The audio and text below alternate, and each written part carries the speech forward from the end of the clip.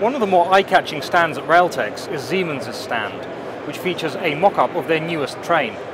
I asked their managing director of rolling stock, William Wilson, about it. Will, tell us a little bit about what you're standing next to here. Well, the latest platform, and I'm standing next to the mock-up here, is our Velaro Novo. This is our new generation of high-speed trains, and it will set the standard moving forwards. Needless to say, we are bidding this for high speed too, so I can't say too much about the technicalities of it, but it's also being offered in Thailand and, and wherever we have high speed opportunities. It builds a lot on the Velaro. We're all very familiar here in the UK with Eurostar the fleet that we delivered a number of years there, which is a great reference for us, as is the whole of the fleet around Europe and of course in Russia and Turkey as well. What it does do, it builds on um, very lightweight design with a slightly wider car body, which of course gives good seating configurations or whatever the customer wants to fit it out with. We have upgraded uh, a lot of the technology, so we have very reliable drives, which are more power efficient, and indeed the whole Velaro Novo is going to be about 30% lighter than the traditional Velaro as well, which gives great life cycle costs across the piece. So it's designed with the customer in mind, it's designed with the operator in mind, in order to become what we believe will be a very good high-speed offering for the globe.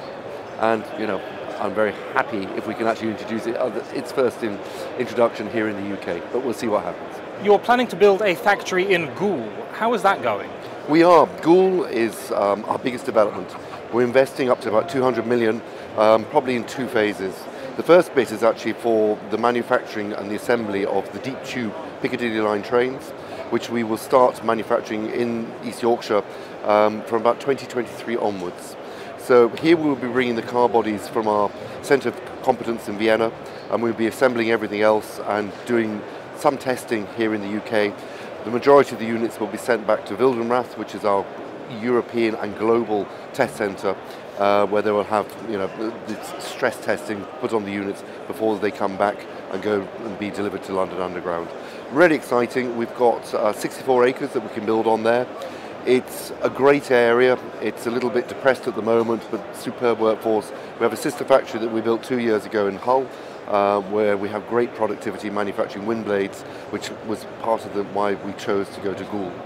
At the Goole site, we're also going to be adding um, a lot of our service capability with the multifunctional centre where we can do modifications, crash repairs, um, repainting and so forth. Uh, plus, we will be bringing our hopefully our drives business uh, where we overhaul drives and gearboxes from Leeds into there so that we become a centre of excellence which is far more than just assembling trains.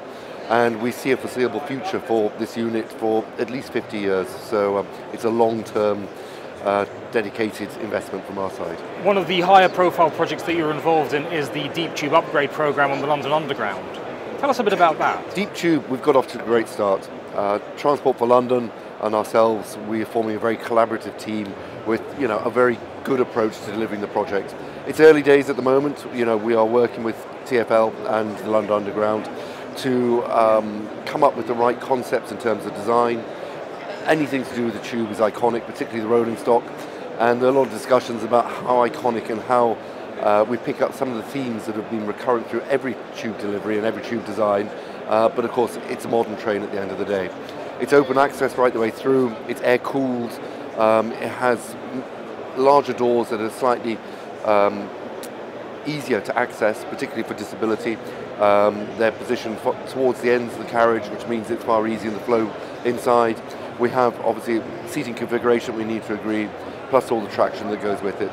And of course, it's a digital train as well. So in terms of preventive and maintenance, it's our next generation uh, fully digitally enabled so that we know exactly how everything is performing, we know exactly what's going on inside the carriage, we know how the passengers are performing, whether any issues like this, and it's all very closely linked with the control centre but also with the, with the drivers. So um, we're looking forward to delivering those in due course. So we've talked about high-speed trains, we've talked about metro trains, but what about the bit in between, regional trains?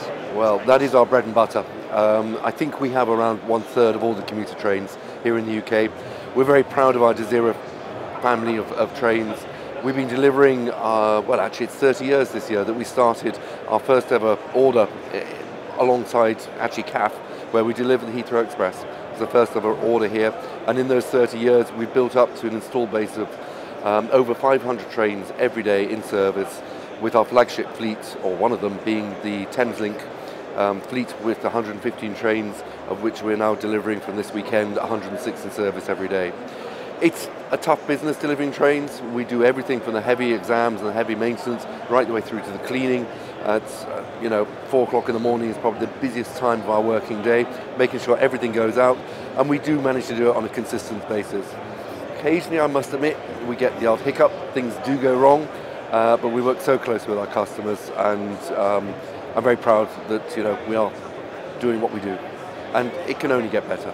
We work and strive um, to gain productivity, to, to you know get better reliability, availability at all times. But it's it's a tough thing delivering so many trains on a daily basis, as you can imagine. William, thank you very much. You're welcome. Thank you.